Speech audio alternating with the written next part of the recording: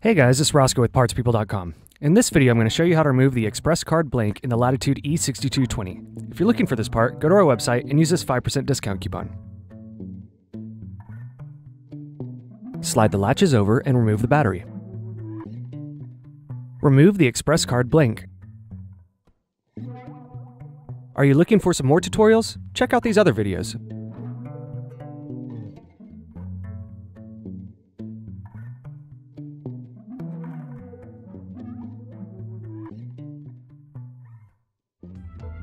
If you enjoyed this tutorial, go ahead and like the video and subscribe to our YouTube channel. Check out PartsPeople.com where we have hundreds of tutorials and hundreds of thousands of parts.